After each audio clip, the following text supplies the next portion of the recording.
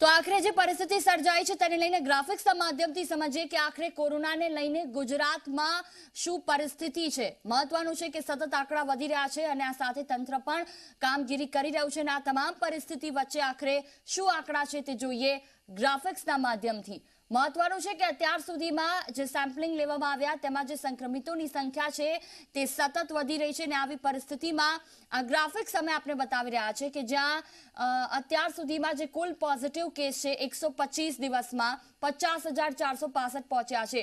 ઓગણીસ માર્ચે બે કેસ હતા જે વધી બાર એપ્રિલ સુધી પાંચસો થયા, ત્યારબાદ સાત મે સુધી સાત થયા. તે વધીને સીધા દસ એ પહેલી જૂને સત્તર થઈ ગયા. આ સાથે ડબલ આંકડામાં થયા ત્રીસ હજાર એકસો અઠ્ઠાવન, છવ્વીસ જૂન સુધીમાં અને આ સાથે સાથે આંકડો એકવીસ જુલાઈ સુધીમાં પચાસ હજાર ચારસો પાસઠ પર પહોંચી ગયો છે. સતત જોવામાં આવે તો સાત મે પછી દસ હજાર તે પછી સીધું ડબલ આંકડા થઈ ગયા અને ત્યારબાદ પચાસ હજાર સુધી પહોંચ્યો. એટલે કહી શકાય કે લોકડાઉન ટુ પછી જે રીતે સતત કેસમાં વધારો થયો છે, ત્યારબાદ જ્યારે અનલોક વન આપવામાં આવ્યું, ત્યારે પણ કેસમાં સતત વધારો જોવા મળ્યો. એટલે લોકોને હજી પણ સરકાર કહી રહી છે, તંત્ર કહી રહ્યું છે કે જો કામ વગર ઘરની બહાર ન નીકળો. ખાસ કરી નાના બાળકો અને જે વૃદ્ધો છે, તેમને તો ઘરની બહાર ન નીકળવા માટે જ કહેવામાં આવ્યું છે. તો આ સાથે સાથે અન્ય જે લોકો બહાર નીકળે છે કામથી, તેને પણ ખાસ સાવચેત રહેવા માટે કહેવામાં આવ્યું છે. તો આ તમામ આંકડા આપણી ટીવી સ્ક્રીન પર કે જે અત્યાર સુધીમાં એકસો પચીસ દિવસના આ કુલ પોઝિટિવ આંકડા છે. આ સાથે અત્યાર સુધીમાં કુલ મૃત્યુ કેટલા? ઓગણીસ માર્ચે જ્યારે બે પોઝિટિવ કેસ હતા, ત્યારબાદ તો હજી કોઈ મૃત્યુનો આંકડો સામે નહોતો આવ્યો. બાર એપ્રિલ સુધીમાં ચોવીસ લોકોના મૃત્યુ થઈ ગયા. સાત મે સુધીમાં ચારસો લોકો. અચાનક જ આ મૃત્યુ આંક વધી ગયો. આખા ગુજરાતની આ વાત. પહેલી જૂન સુધીમાં છસો લોકો વધ્યા, એક મૃત્યુનો આંક પહોંચ્યો. છવ્વીસ જૂન સુધી સત્તરસો ને બોતેર રહ્યો. સાતસો જેટલા લોકો વધ્યા એટલે રેશિયો કદાચ સરખો રહ્યો મૃત્યુનો જે આંક છે તે.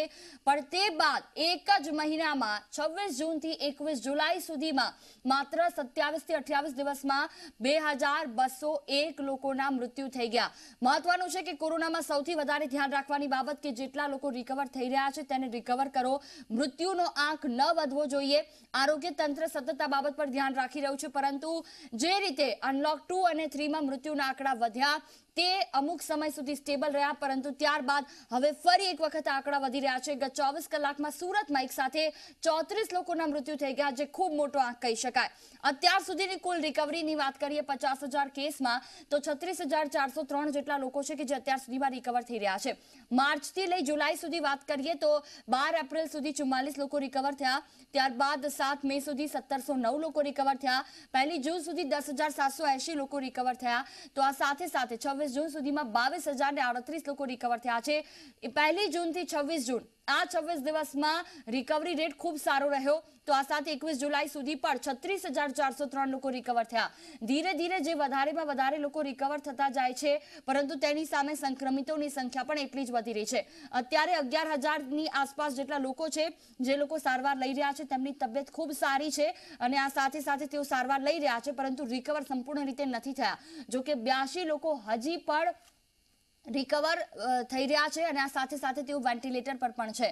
કહી શકાય કે આ તમામ આંકડાઓ એ બાબત સૂચવે છે કે કોરોનાની પરિસ્થિતિ ગુજરાતમાં વધારે ખરાબ થઈ રહી છે. હજી પણ તેમાં કોઈ સુધારો